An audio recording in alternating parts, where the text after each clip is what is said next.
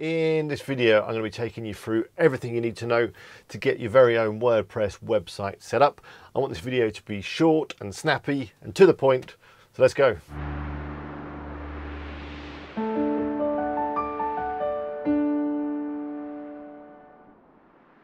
Hello, it's Alex here from WP Eagle.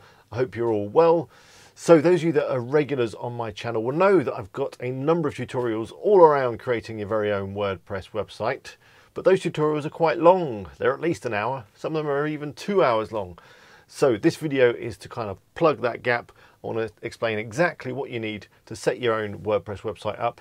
I'm going to cut out all the detail. We're just going to go through the top level points and hopefully it'll be enough for you to get a website up and running really quickly. If you are new to the channel, hello, good to see you. Be sure to subscribe.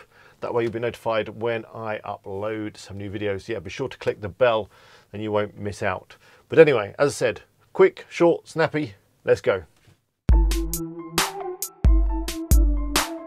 So one thing I want to clarify before we get started is that this is all about setting up your very own self-hosted WordPress website. A lot of people that aren't familiar with WordPress, they've just kind of heard about it and they want to set their own site up. They head over to wordpress.com and they sign up for one of the plans over there and then they realize that they can't kind of do what they want to do with it and they're very restricted. And that's because WordPress.com is just a blogging platform. And if you want the fully blown, fully fledged, fully featured WordPress, you need WordPress.org which is what we're going to be doing in this video. So the first thing you're going to need is a domain name. Now I always go over to GoDaddy for my domain names. I'll put links to all the things I talk about in the description. Some of them might be affiliate links, so if you use them, thank you very much. So go over to GoDaddy, do a search for the domain name that you want and, and buy it. That's all you got to do. It's simple as that. If you've already got a domain name with another provider, don't worry, I'm going to be talking about how you can use that in the next step. The second thing you're going to need is some website hosting. This is basically a company that looks after your website, keeps it online. Uh, you use a little bit of their server. They take care of everything. I use HostGator. I find them really good. They're great value for money and the performance that you get and the service you get is good. So simply head over to hostgator.com, click on web hosting, choose the plan you want. Hatchling plan is generally fine for most people. Click on sign up now then select I already own this domain. Type in the domain you just registered. Scroll down, select the billing cycle that you want. I suggest you go for something that's 12 months or longer. That way you get the best value for money. Fill in username, password, and all your billing details. You can untick the additional services. We don't need them. Then we get to the coupon code. If you use the code EAGLE30, which is my coupon code, you'll get a fantastic uh, discount and I'll also earn a small affiliate commission. So thank you very much. If you use it, I really appreciate it. Scroll down, tick the box I have read and agree, and then you're ready to check out and you're all done. So once you've got your hosting set up, you want to repoint your domain name. So if you just purchased it from GoDaddy, you need to head over there, log in, and you need to update the DNS servers with the two servers that you'll have received from HostGator in an email. Just copy and paste them in and you're all done. Now, if you've got a domain name from another provider, the theory is basically the same. You want to log into your domain name provider, find the domain you want to use, edit the DNS servers, and insert the ones that you got from your hosting provider, which will probably be HostGator if you're following this video. So yeah, just copy and paste them in. There may be a delay in terms of getting them working. Give it a couple of hours and it should be all good. The third step is to install WordPress. Now, most hosts like HostGator make it really easy. All you got to do is log into your hosting control panel and you will see a link to install WordPress. It should be at the top somewhere. It may be in, you know, install applications, something like that. But there'll be a clear link to install WordPress. Follow that and follow the wizard. You might have to enter a few bits of information. But in a few moments, you'll have WordPress all installed and ready to go. The next thing you're going to want to do is install a theme. You can do this from within WordPress once you're logged in.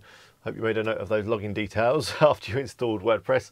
So log into WordPress, go into Appearance and then Themes, and you can browse kind of a whole library of free themes that are available from WordPress directly. A few free themes that I like, and you'll find links to all of these themes in the description, are GeneratePress, Astra, and Ocean WP. They're all good because they use a great drag and drop uh, plugin to kind of lay stuff out, so really easy to use. There are also a whole load of premium themes available. Now with premium themes, you get a lot more features, you get support, you get updates and a whole kind of cool stuff. Some of the premium themes that I like are Divi, Xtheme, and pretty much anything on Theme ThemeForest that's got a good review and has got a few downloads. So uh, yeah, I'll put links to all those things in the description and go check them out. Once you've got your theme installed, you might want to install the demo content that comes with the theme, and this varies depending on the theme you choose. But with demo content, basically it'll add some pages and, and layouts so that you've got something that you can work with, and all you've got to do is just change the content so it fits your needs. And speaking of content, that's the next step. The next thing you're going to want to do is add some content to your site. If you've installed the demo content that came with the theme, just need to go and edit that. If you're starting from scratch, you need to be aware that pages are a good place to put static information. So maybe your About Us page, your home page, your Contact Us page. Use the page is section for that. Um, for your blog, you're going to want to use posts. So each post appears on your blog. It's got a date. Uh, people can add comments, that kind of thing. It's really easy to add content with WordPress. It's got a, a nice kind of visual editor. Uh, works very much like Microsoft Word. So if you've used that, then you should be fine. Depending on the theme, you may get a more advanced editor, something like Elementor or Visual Composer. This basically allows you to drag and drop elements, far more sophisticated, uh, but also really easy to use. Once you've got your content on, the next thing you might want to do is add some plugins.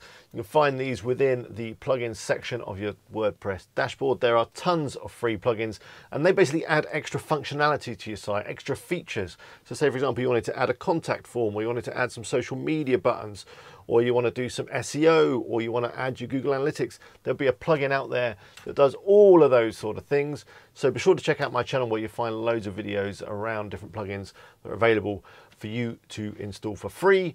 Similar to the themes, there are also some premium plugins. These offer extra functionality, better support, that kind of thing. But generally, you will find a free plugin that will do what you need. And that's basically it. Now, obviously I've skimmed over a lot of the detail. If you want more detail around any of the things that I mentioned, do check out my channel where you'll find videos on most of those subjects. You'll also find some of the full length tutorials there where I do go through a lot of the detail and kind of hold your hand uh, step by step. Now, if you've got any questions or comments, do leave them below. I'll do my best to answer as many as I possibly can. As I mentioned before, if you're not already subscribed, then please do click on the eagle to do that and click on the bell to be notified when I upload a new video. Here is another video, it's chosen specially for you, so I'm sure you're going to like it. And there's my other channel. Check it out. Till next time, bye for now.